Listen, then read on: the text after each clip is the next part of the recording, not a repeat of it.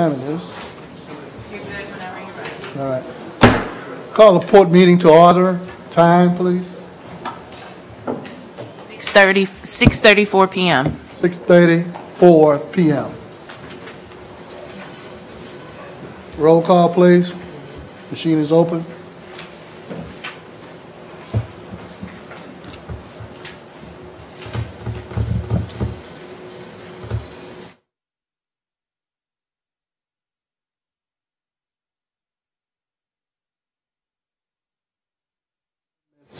Newberry lead us in the prayer, prayer, and Dr. Stewart Good lead us in the prayer.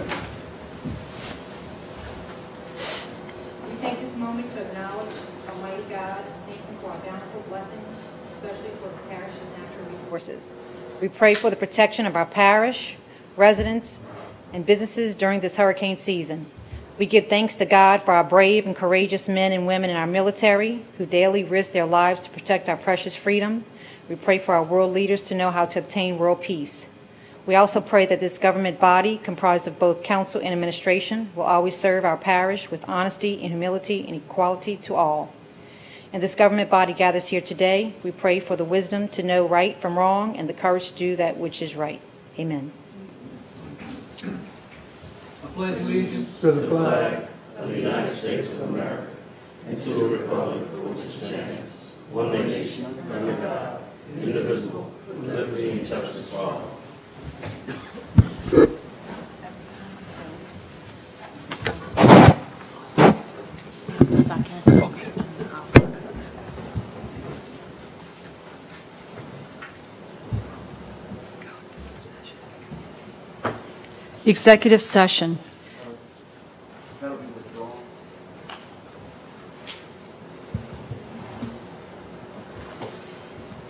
Status report by the Executive Port Director. Good afternoon, Mr. Chairman, Mr. Vice Chairman, and members of the board. I am Sandy Sanders, Executive Director of Plaquemines Port Harbor and Terminal District. Follows is my Executive Director's report for the reporting period of 28 June through 15 July. Due to the July 4th holiday and the events surrounding Tropical Storm Barry, this report is very short. During this time, we participated in meetings with the Rio Grande, New Orleans Gulf Coast, and community leaders from Gretna and Jefferson Parish to address the concerns of rail traffic through Gretna. Once again, it was stressed both by the port and by the railroad that the objective of rerouting the rail down Harvey Canal and around the Naval Air Station is the goal of both of us. Port personnel were positioned in the PPG Emergency Operations Center during the storm, and, and the port lent their assets, the command vehicle and an airboat, to the sheriff's office and the PPG government supporting their efforts. During the storm, we received a call from the 911 dispatch. As it appears, there was a husband and wife team that had kayaked down from Indiana and were not aware of the storm. How it was routed to the 9 11, I'm not sure, but it was from their parents. David Sylvie uh, contacted the parents. He also was able to contact the husband and wife, told them to stay put down at Port Eads, and at daybreak, this happened on Wednesday evening at 11 o'clock. At daybreak, uh, we would send someone down there to, to dispatch them. So I'd like to thank uh, Captain Raylan Hoye and rescue engineer Dana Barrios. They went down, they rescued them. David Sylvie picked them up uh, in a truck at the um, Coast Guard station in Veniceport. Uh, we, we loaded their kayak up. We contacted their parents. Uh, their parents immediately set out uh, from Indiana to pick them up. So, a good news story. Lastly, I'd like to provide everyone here with my observation during the time spent in the EOC or on site throughout the parish. This was a great cooperative effort by all, starting with the parish president, the sheriff, the council members, all the associated staff members from many different organizations. It was obvious that the, the care and safety of the citizens of the parish was paramount in every decision was made with that ultimate purpose. Mr. Chairman, subject to your questions or comments, this concludes my report. Any comments from the table? Audience?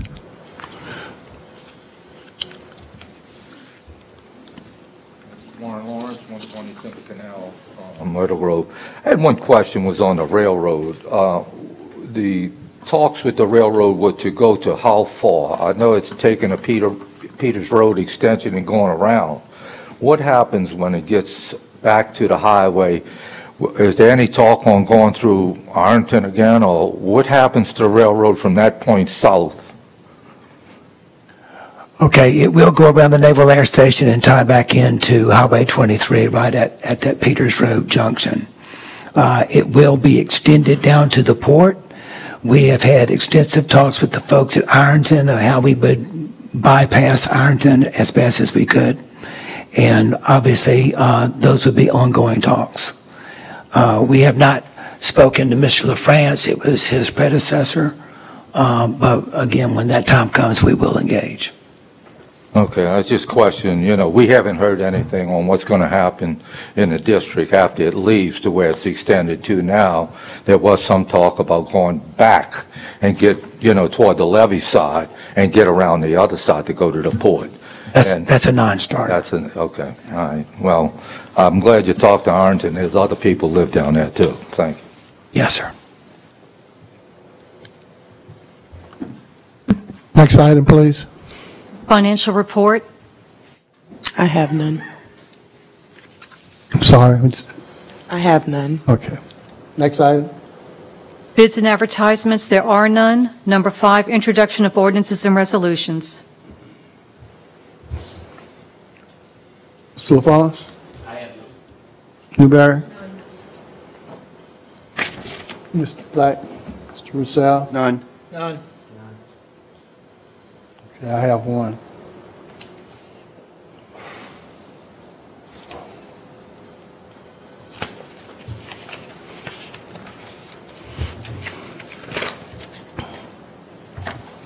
I put my contract paper.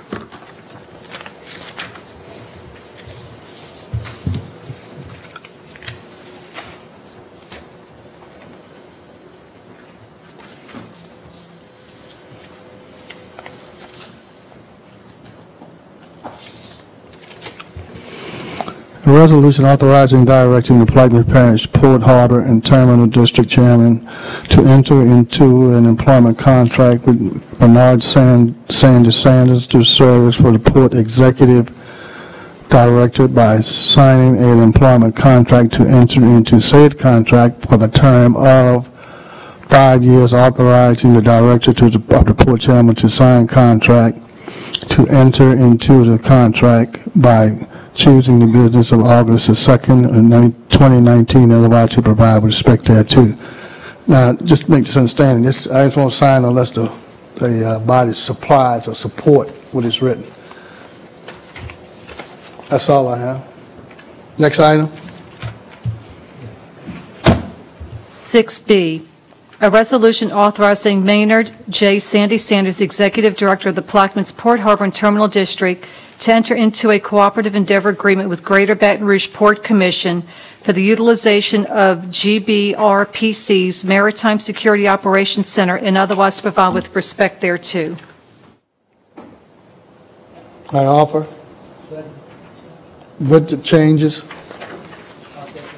Yeah, I'm sorry, I thought we had passed them out to you all. Offer with the changes. Yeah, read the changes, please. The changes are, in the first whereas, starting on, it reads, currently reads, whereas PPHTD and GBRPC are deep water ports and political subdivisions of the state of Louisiana, exercising governmental powers of the state as delegated and authorized pursuant to the Louisiana Constitution and other statutory supplement authorities thereof, and we're deleting information, we're deleting the following from that paragraph.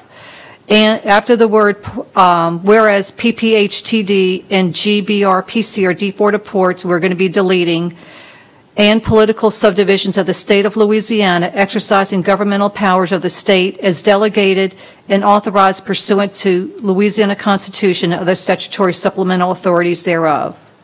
So it'll only read, whereas PPHTD and GBRPC are deep ports, and. Offer with those changes.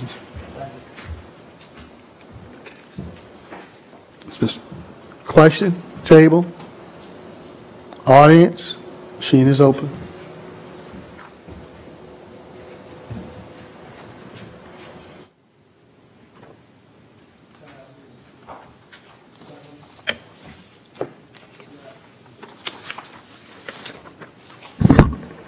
Six C, a resolution authorizing Maynard J. Sandy Sanders, Executive Director of the Plaquemines Port Harbor and Terminal District, to enter into a memorandum of, under- of agreement with U.S. Army Corps of Engineers, New Orleans District concerning the provision of funds pursuant to the Section 2106 of the Water Resources Reform and Development Act of 2014 and otherwise provide with respect thereto.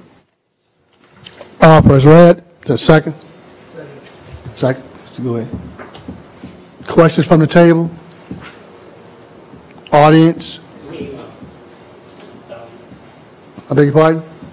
I have a question. Okay, go ahead, Mr. LaFrance. Uh, what team will be working to put in this, uh, design? Say that again, please, sir. What team will be working together to put in this design together? What team will be working together? Yes. Uh, We and uh, uh, members of the parish government, as well as the Corps of Engineers, uh, will all be gathering uh, to put the best design um, that we possibly can come up with, and also with uh, most likely CPRA, uh, because we're going to be asking for them to put their money uh, and muscle to use uh, when we put the beneficial use material into some of their state projects. Okay, so we don't know exactly where this material is going to be, what is dressed. Right now, uh, we have not designated an area, but uh, when we got the presentation from the Corps, we have some pretty likely spots that we're going to target. Um, Particularly, they're- they they are CPRA projects, so we're looking at, you know, using their financial muscle to assist with it. Well, You know, it's very important that we have the government, uh, someone from the government to be involved with this. Absolutely. Absolutely. Any other comments from the table? Audience? Machine is open.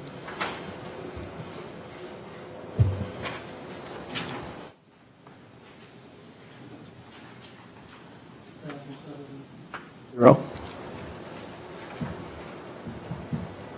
Next item, please.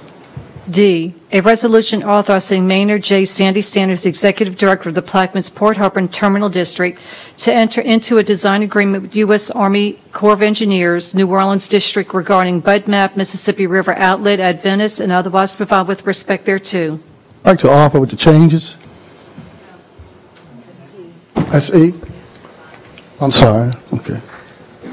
Offer as it is read.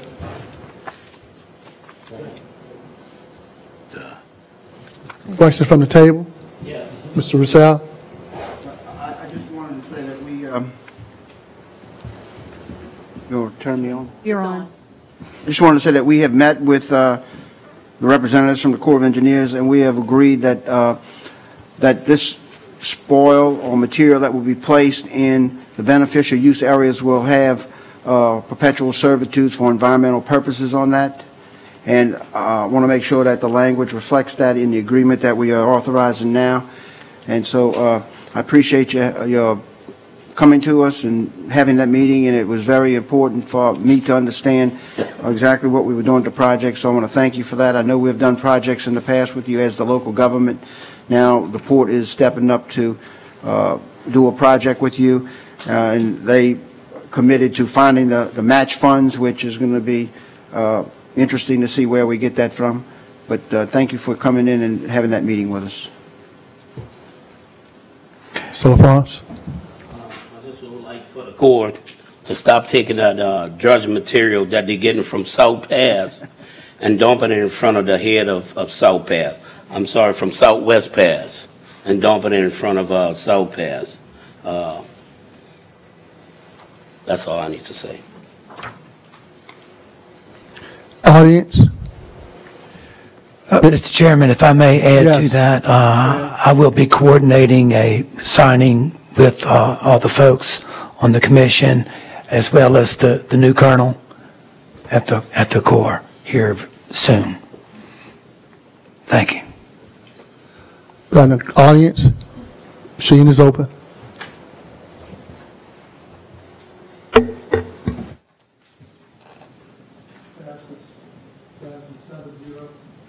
Next item, please. Like to, next item, we want to offer with the changes. I want to offer with changes. A resolution authorizing the Plaquemines Port Harbor Terminal District to dispose of disused movable property, specifically to dispose of a 2005 Dodge 2500 pickup on an as-is, where-is basis and in accordance with Louisiana statutes governing the disposal of movable property owned by political subdivision of the state and otherwise provide with respect thereto. On line five and line 14, we're removing the words "of the state." Offer with those changes. Second by Councilman Newberry. Questions from the table? I just want to say, that the Platinum government, we already have a process of disposing surplus equipment. Uh, The port is a political subdivision of the government, and we should use the same process that's already in place. Donald?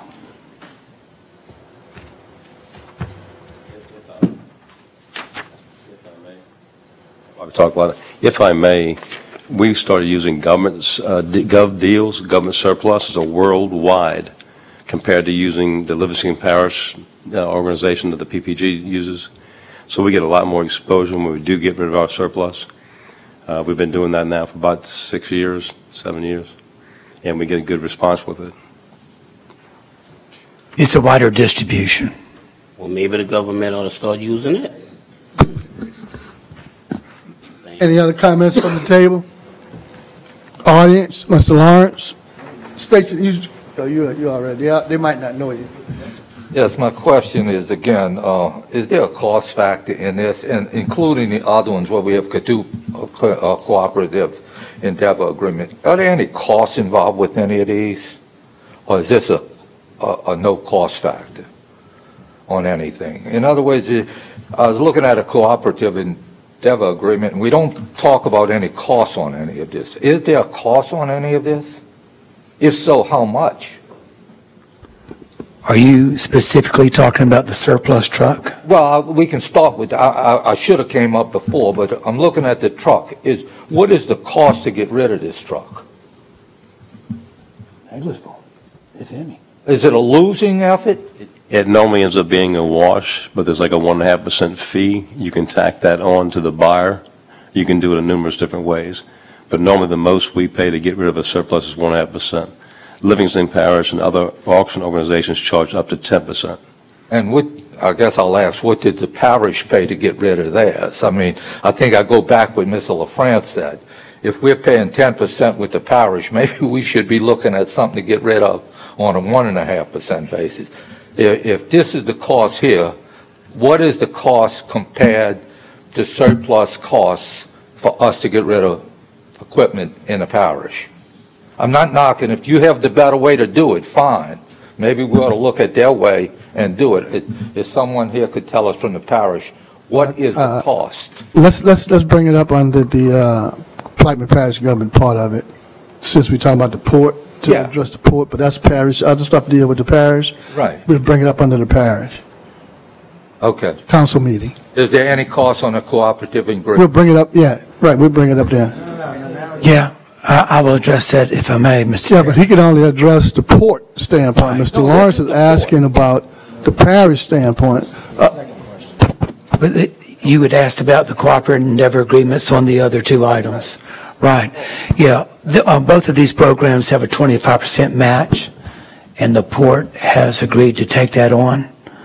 All right, uh, and I feel very uh, certain that uh, I can partner with CPRA and they can put a big dent in our match.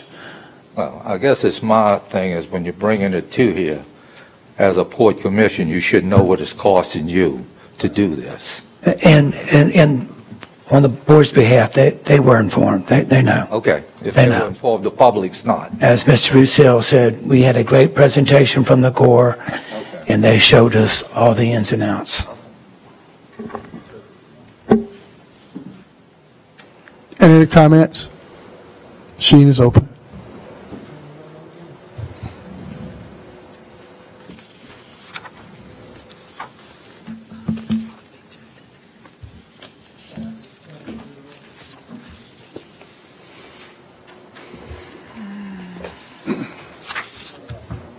Next item, please. 6F, a resolution to amend Plaquemines, But defer, please.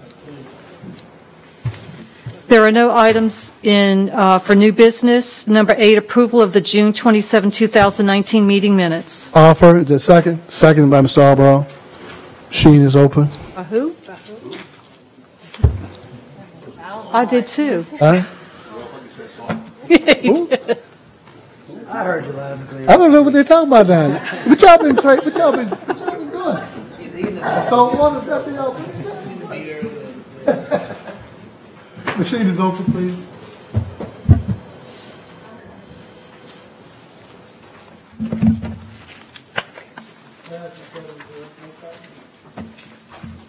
To, ad- motion to adjourn? So moved by Councilman Good, second by Mr. Arborough. Any question? The machine is open. All, all bright.